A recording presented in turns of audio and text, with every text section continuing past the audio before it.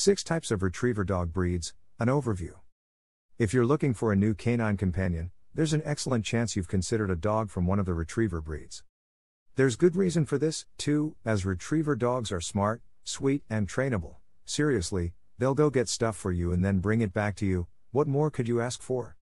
But did you know that, while there are many different dog breeds that have retriever tendencies, there are only six recognized types of retrievers? Chances are you're familiar with the Labrador and Golden varieties, but there are a few other breed options out there that are worth considering. The list below will cover all six breeds, including their defining characteristics, physical traits, and more, so all you have to do is decide which one to bring home to your family. The six types of retriever dog breeds 1. Labrador Retrievers. According to the American Kennel Club, the Labrador is the most popular dog breed in the United States. What's the appeal? Well, it probably has something to do with the fact that they're incredibly friendly pups, making them the perfect addition to any family, even one with small children running around. Labradors come in three different coat styles black, yellow, or chocolate. When fully grown, they can weigh anywhere from 55 to 80 pounds, and they love to play. Please note that we said they love to play. Playtime isn't an optional activity for these dogs. They can spend hours chasing after flung balls or thrown sticks, and they're more than happy to stick by your side on a hike or jog. Who knows? They may even inspire you to get more active. After all, how could you say no to that face? 2. Golden Retrievers. We think that part of the reason why Labradors are so doggedly friendly, see what we did there? Is that they know that Golden Retrievers are breathing down their necks in terms of popularity. These dogs are the third most popular in the US, and you're just as likely to find them working with your local search and rescue team as you are to see them lounging at the park. They're medium sized when fully grown, weighing in at between 55 and 75 pounds, and they're among the most energetic dogs on the planet.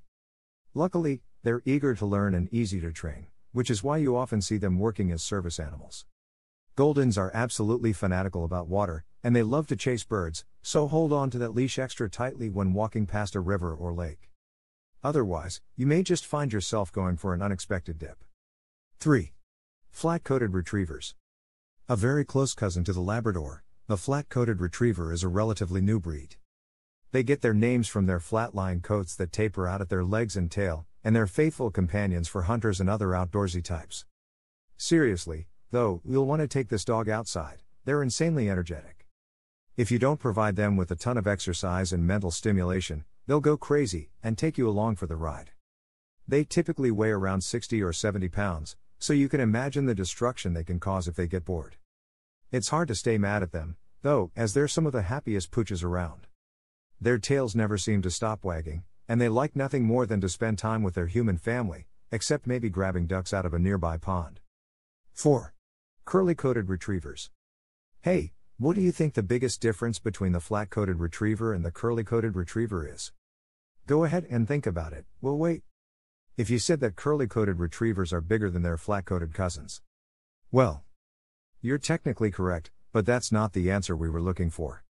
Curlies are the biggest of the retriever breeds, and they can weigh in at up to 95 pounds. However, their primary distinguishing characteristic is their thick, curly coat, which allows them to chase fowl through brambles and another rough terrain without suffering damage along the way. Curly coated retrievers are friendly, but they're not quite as extroverted as the breeds above. They're fiercely loyal to their families, but they can sometimes be aloof to strangers. They also tend to be calmer than many other retrievers, at least when they're not working. After all, you don't want to be too active when you spend all morning getting your curls just right. 5. Chesapeake Bay Retrievers. Developed in 19th century Maryland by hunters and fishermen with a penchant for coming up with creative names for dog breeds, the Chesapeake Bay Retriever is a working dog through and through. They've been used for everything from fetching fallen ducks to pulling fishing nets, and sometimes fishermen, out of the water. Their double coats are neither flat nor curly, instead of settling somewhere in the middle. The wavy fur is slick and oily to the touch, which helps repel water and allows the dogs to swim in icy conditions. They come in all shades of brown, as well as hints of red and yellow. Ranging from 55 to 80 pounds, these are solid, well built creatures. Like curly coated retrievers, Chessies prefer the company of their families to outsiders. They're not aggressive by any means, but neither are they enthusiastic to meet strangers. This makes them excellent watchdogs, as well as reliable babysitters. 6. Nova Scotia Duck Tolling Retrievers. Don't let the long name fool you, these are actually the smallest dogs in the retriever group, as they normally only weigh between 35 and 50 pounds. Despite their diminutive stature, they have big dog energy and can run circles around most other breeds, especially in the water, as they have webbed feet and a double coat. The Nova Scotia duck tolling retrievers somewhat resemble miniature golden retrievers, and they attract ducks and geese by tolling. This involves tossing a ball or stick around near the water, which causes the birds to come in for a closer look at the strange activity, allowing a hunter to get a shot off at close range.